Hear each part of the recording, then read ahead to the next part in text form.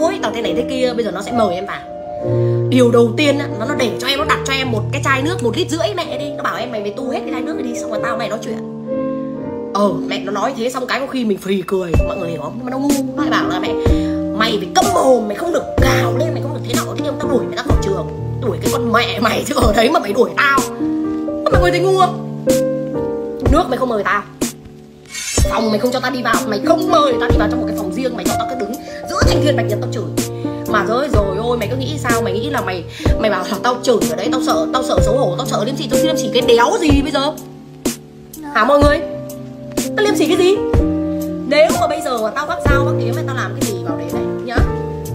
Thì mày báo công an thoải mái trời tao chỉ là con đàn bà mồm to thôi. Và mồm to và tao có văng tục chửi bệnh đi chăng nữa thì xin lỗi nhá tao văng tục bằng tiếng việt tao nói bằng tiếng việt có dấu còn chúng mày tây, chúng mày nghe đâu có hiểu đâu. Ok? À, tao chỉ chửi cho người nghe đâu, người nào nghe, tao chỉ chửi cho cộng đồng mạng, mọi người cùng nghe, mọi người cùng hiểu nỗi bức xúc của tao thôi. Chứ còn nếu mà bây giờ mọi người bảo là là là em là thế nọ, em là thế kia, hay là bây giờ phải vào như thế nào? Hay là vào là phải bây giờ, anh chị ơi, bây giờ thôi cho em xin lỗi tao năn nỉ chúng mày rồi thế nọ thế kia. Này, còn em xin lỗi nhá, học thì học không học giải tán. Có vậy thôi. Học thì học không học thì thôi. Em không học trường này, tao học trường khác. Ở việt nam không chứa tao á. Tao đi sang nước ngoài.